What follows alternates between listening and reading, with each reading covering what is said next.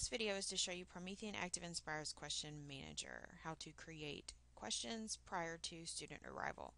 This tutorial is using the latest version of ActivInspire, which is ActivInspire 1.7, so your screen may look a little different if you are using an older version of the software. This is going to allow you to create one question per flipchart page, and to create questions you do not have to have Promethean clickers in order to just create the questions. So let's go. Here are the steps. So I'm going to go to a blank flip chart page.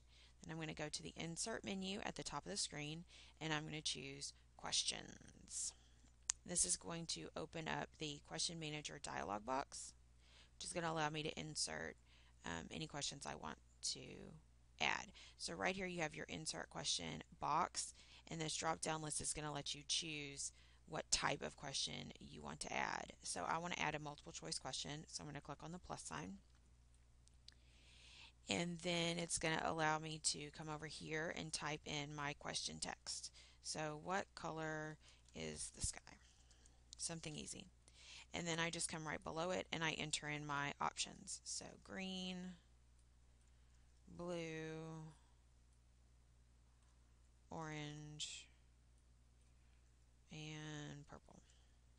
Now if I only have four options, A, B, C, and D, and I don't need these other two options, I can click on this red X off to the side, and that's going to remove those options as choices. So now I have an A, B, C, D answer choice. To assign the correct answer, you just click on the little box underneath the one that is the correct answer. So in this case, blue is my correct answer. So it assigns that as my choice. In this box, I can scroll down and I've got some different options here. Uh, I can ask a follow-up question if I would like. In this case, I'm not going to.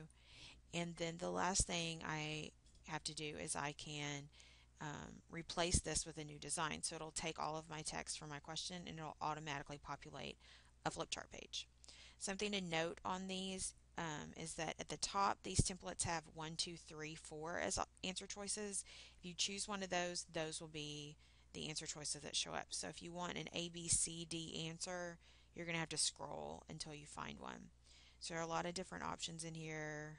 I want an easy one. So I'm going to choose this one. Question will be at the top and then A, B, C, D answer choices will show up underneath them. So I'm going to click on that one to select it and then I'm going to choose apply. I can move this dialog box and see that my question has been applied to the page and I click done and now my question has been inserted on the page and formatted for me. If I want to insert an additional question I can create a new page over here insert a page after my current and I can do those steps again. to add, let's say, a yes no question, which is just like true or false. Um, 2 plus 2 equals 5. So yes or no, or I can change that to true or false. And I can put my correct answer. And then again, you notice with this answer choice, you get different um, options for your template. Can choose to apply it, and then I'm done. So here's an example of one with a picture that I've added with the answer choices. So to engage the question for student response devices, watch the Start Stop Flipchart Voting video to see that. This has been Promethean ActivInspire's Question Manager.